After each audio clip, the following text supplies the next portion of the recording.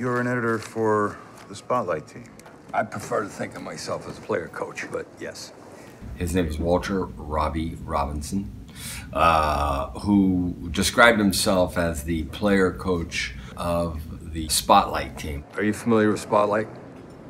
No, not particularly. Well, we are a uh, four-person investigative team. We report to Ben Bradlee Jr., and we keep our work confidential. And the Spotlight team was a group of uh, investigative uh, journalists from the Boston Globe. They won a Pulitzer Prize for this story, which is they exposed the uh, how far and deep and wide the uh, child abuse scandal in the Catholic Church was in Boston. Baron told us to get the system.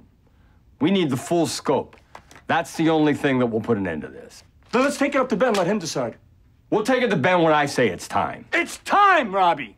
It's time! He's got a very, very sly curiosity, you know, which is obviously curiosity is fundamental to being a journalist, but he's pretty sly about it, not in any kind of dark or sinister way, but he's kind of trailing a story or digging down or mining something, but never really so it feels intrusive or or too much or over the top.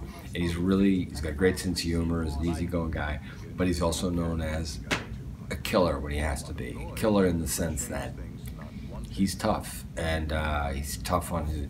He was tough on his group of reporters, but he's tough on whomever he is investigating. That you see moments of that uh, in the movie. This is our town, Jimmy. Everybody knew something was going on, and no one did a thing. We got to put an end to it. Don't tell me what I gotta do.